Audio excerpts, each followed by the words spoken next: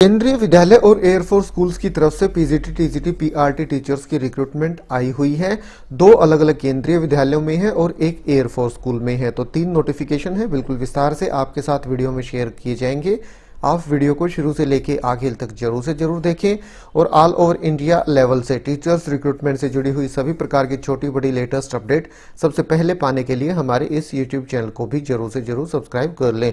तो ठीक है दोस्तों, शुरू करते हैं आज का अपना ये वीडियो सबसे पहले आप ये अपडेट ले लीजिए क्योंकि यहाँ पे आज ही इंटरव्यू कंडक्ट कराया जा रहा है। अगर आप स्कूल के आसपास है और इंटरव्यू के लिए जाना चाहते हैं तो अब भी आपके पास समय है, जा सकते हैं।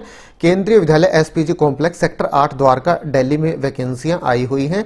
इसके बारे में मैंने आपको अपडेट पहले प्रोवाइड कराई थी। ये रिमाइंडर है, अगर आप जाना चाहें तो इंटरव्यू के लिए जा सकते हैं।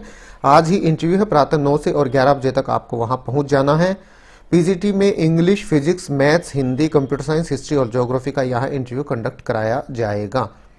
ऑफिशियल वेबसाइट है, द्वारका इन यहाँ से आपको इसका एप्लीकेशन फॉर्म डाउनलोड करना है, वो भर के लेके जाना होगा।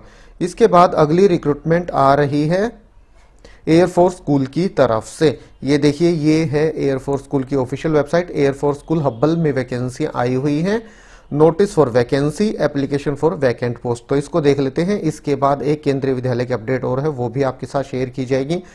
नोटिस फॉर वैकेंसी पे आप क्लिक करेंगे तो ये इस तरह से ये पीडीएफ फॉर्मेट वर्ड फॉर्मेट में आपके सामने डाउनलोड हो जाएगा। Air force school Hebbal notice staff vacancy for academic session 2021-22 teaching and non teaching staff regular और कॉन्ट्रेक्टल दोनों तरह की वैकेंसियाँ हैं। पीजीटी फिजिक्स की एक वैकेंसी रेगुलर बेसिस की क्लर्क की एक vacancy regular science lab attendant एक वैकेंसी रेगुलर बेसिस की हेल्पर एमटीएस की तीन वैकेंसियाँ रेगुलर बेसिस की हैं, दो मेल के लिए, एक फीमेल के लिए। पीजीटी हिस्ट्री, एक वैकेंसी, पॉलिटिकल साइंस, एक, ये सभी कॉन्ट्रेक्टल बेसिस की हैं। साइकोलॉजी, एक, सोशोलॉजी, एक, ज्योग्राफी, एक, लीगल स्टडीज़, एक, एसएसटी, एक टीजीटी कंप्यूटर, एक टीजीटी स्पेशल एडुकेटर एक, पीआरटी की भी एक है और एनटीटी की यहाँ दो वैकेंसियाँ हैं।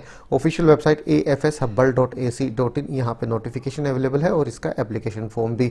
Last date of receipt of duly filled application form 19 अप्रैल 2021 है। डेट ऑफ़ रिटर्न टेस्ट 26 अप्रैल 2021 है। दो अप्रैल 2021 के टाइम्स ऑफ़ इंडिया न्यूज़पेपर में भी ये नोटिफिकेशन पब्लिश किया गया है। ऑफिशियल वेबसाइट पे ये देखिए, ये एप्लीकेशन फॉर वैकेंट पोस्ट है। यहाँ क्लिक करेंगे, इनका वर्ड फॉर्मेट भी आपके सामने डाउनलोड हो जाएगा। ये देखिए, ये एप्लीकेशन फॉर्म डाउनलोड हो गया है।